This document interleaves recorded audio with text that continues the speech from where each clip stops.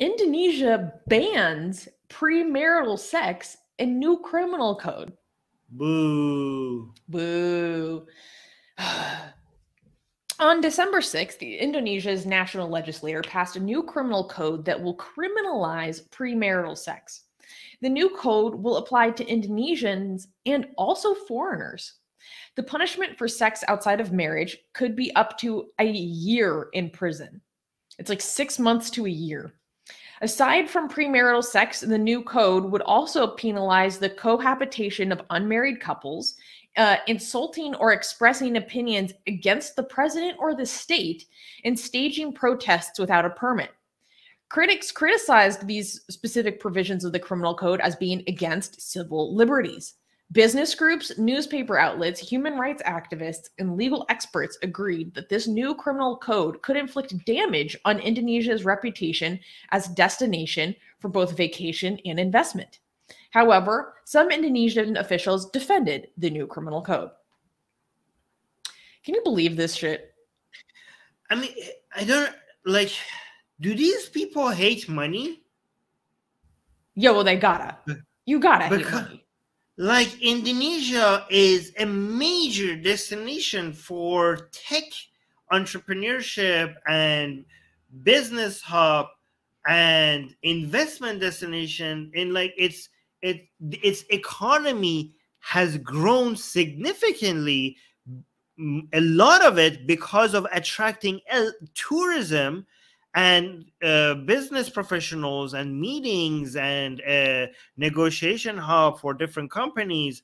Why uh, so many so many rich people and future rich people have chose indonesia as not just their destination to visit but as a place to set up shop and do business because of its welcoming nature to all this investment and business activity and tourism. This is like a huge red flag. This is like a sign like do not come here. Like people who are not muslim who do not have a problem like you when like when foreigners like americans canadians europeans like obviously a lot of them want to have sex before marriage. Why would they choose choose indonesia as a destination if this is their law books? Like if this is like a r- your I, I don't like do you understand how many people are gonna be like okay i'm not gonna i guess i'm not gonna go to indonesia. I guess i'm not gonna go there. Do you know how many young couples would like to live in indonesia and, and Oh uh, my and- God. and, and, and they're like okay but we're a, we're a couple but we're not married. Our like that and some people are like oh it won't be enforced. Well do you want to try and figure that out? Like you don't understand if it's Hell not no. being enforced okay some people are, uh, we don't know how how much this is going to be enforced okay? But this is even more stupid if it's not being enforced. Because you are you are like people are like oh don't worry don't worry Armin. Like uh, like Pakistani uh, pictured force in the live chat here saying it's not going to be enforced. Okay first of all we don't know okay? But it's more idiotic if it's not being enforced because you're not getting this what you think is the benefits the islamic values from it and you're getting all of the harm. What moron would, would want to try to see if this is actually being enforced or not? They already are gonna the people don't want to go to jail. Why would they look at this as an option for tourism or an option for living as an entrepreneur as a young entrepreneur entrep- all the entrepreneurs that indonesia has um, um, attracted? Well not all of them but a lot of them are young age before marriage. They're not going to give up sex because of islam. So why would they want to live there? And how many how many of them are going to leave indonesia because of this? Like what is up with this? Dude is like this must to me suggest that the islamic forces in indonesia are becoming stronger than the force of money.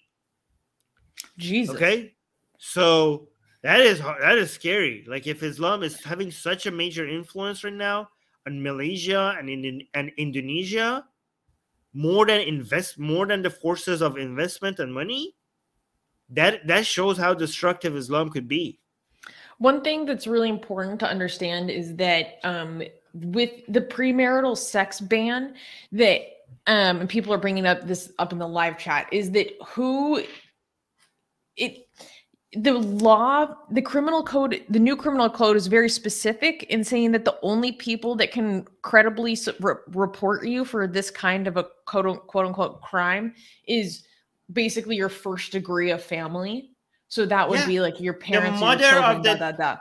yeah. Let's say, and it did, no, no. Let me finish. This is hmm. supposed to be a way to prevent people from just turning people in and just making stuff up and just using rumors and da da da. But like parents do this against their children all the time. They utilize this state to enforce their will against their children all the time in many different countries. This happens constantly in India. It doesn't even have to be against your children, okay? You could do it against the guy that is sleeping with your daughter. Right? So, yeah. For example, so let's say you're a young entrepreneur from the UK, right? And you go to Indonesia Okay, you're like, oh, this is a good hub. Like they have a very good nomad, tech nomad culture. I want to go and work there, make, make a lot of connections. Indonesia is famous for that, right? You go there, like, oh, maybe I'll like chat up with some cute Indonesian girls. Okay. Next thing you know, your father or your father might be reporting you, right? Oh my god. I, right? I mean, people like this will not be enforced if it's up for reporting by the parents, then they are forced to enforce it. There's a, this idiot in the live chat again is like, oh, um, it's like it's going to be like Pakistan. Just because they don't enforce it in Pakistan, they were not going to enforce it in Indonesia. You don't know that.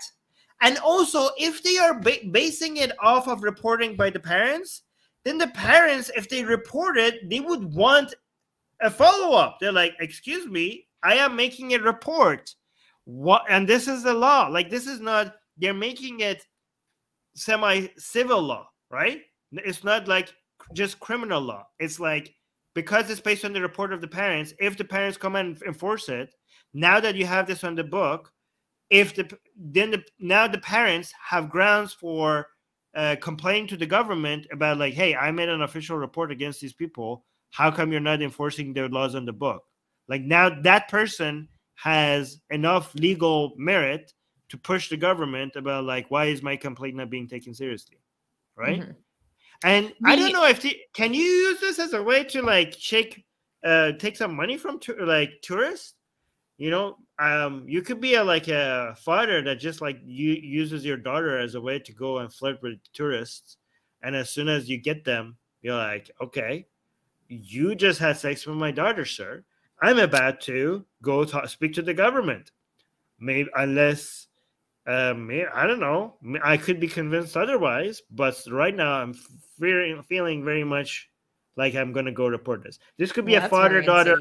This could be a father daughter operation um, in action. I don't know. we'll see. Oh my god. Um. so one thing that is important is that um, this law is not set to be enforced for another three years but this has been passed.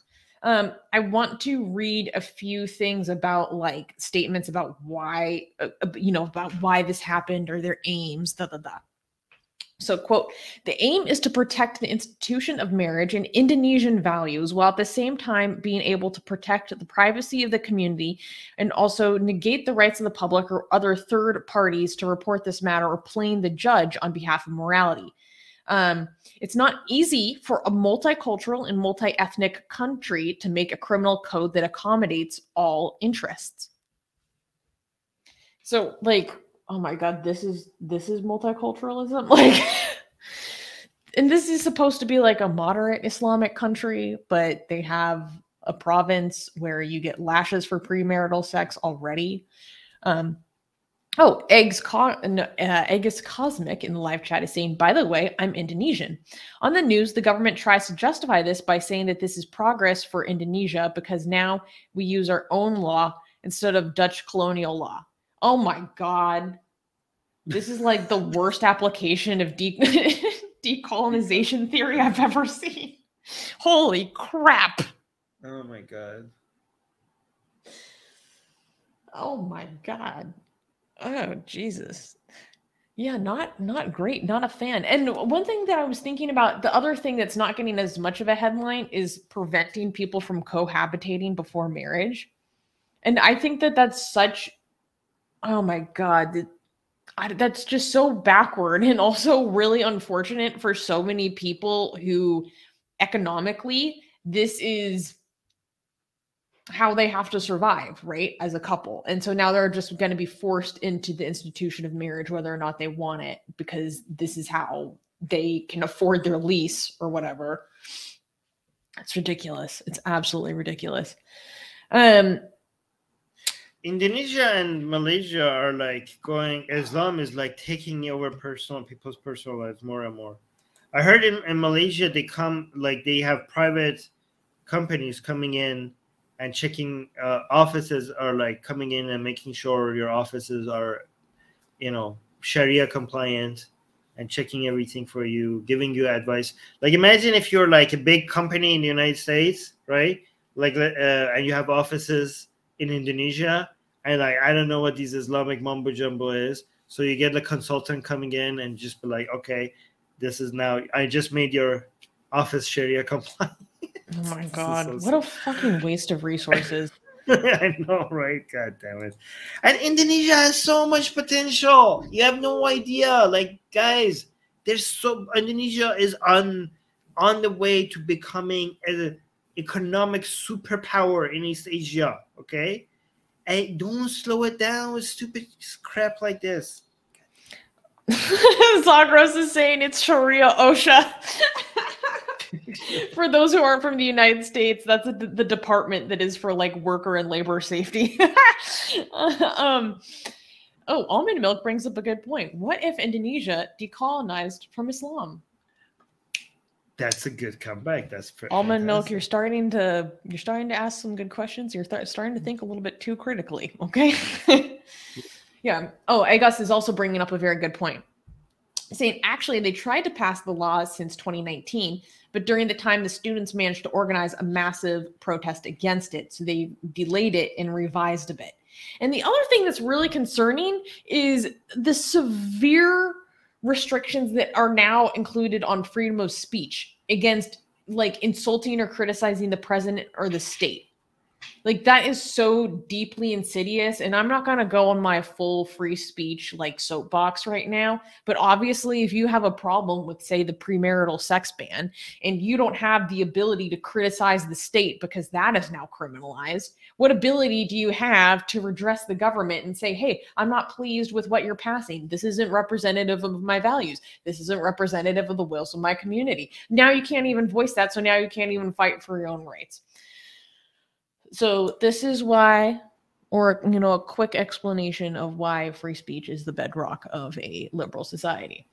Um and the most important value in my opinion but before we go to the next segment very importantly secular sakai gave us a five dollar super chat thank you so much secular sakai thank you secular sakai uh, he is asking Is this going to increase prostitution via temporary marriages and hotels like what has happened in some other Islamic countries? Personally, no. I have no idea if temporary marriage is frequent or common in Indonesia, but no, I don't imagine it, so. That's Indonesia a, is mostly Sunni. Yeah, temporary marriage is mostly a Shia thing. Uh, Sunnis yeah. actually, what actually many Sunnis um, who are anti-Shia use the idea of temporary marriage in Shia Islam as a way to show how vile and disgusting Shia Islam is. They're like, oh, look at how can this be Islam? They have legalized prostitution. They have legalized prostitution. This is like obviously this is obviously they don't have the right Islam if they have legalized prostitution. So that's mostly yeah. Um, yeah, so exactly. But thank you again for the super chat. I mean, the um, Shias, they do be doing some weird stuff. this we can all agree on. yeah. It's tempor it's, it's temporary marriage for a fee. So Sunnis are like, that's just prostitution. Prostitution with, with extra steps. With, with extra steps.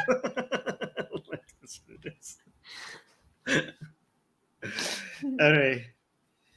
Oh, look at this. It's so cute. He's so upset that he I called him stupid. Oh, like this is like oh, it's so butter. I love it when this guy gets like he's like, I'm so smart. I got good grades in school. I'm not he started listing off his degree. this is there's literally a subreddit for this. There, uh, there's a subreddit called "I Am Smart," and people are like, "Oh, do you know I have this? I got good grades in school, and I have this degree. I'm not stupid. You're stupid. You're a, this is literally the face of the subreddit. I am smart. Go check it out. You sound like exactly like that. Oh my god, I'm sorry. Crying. It's such a crybaby. You can now get the sexiest blasphemous art ever known to mankind for free.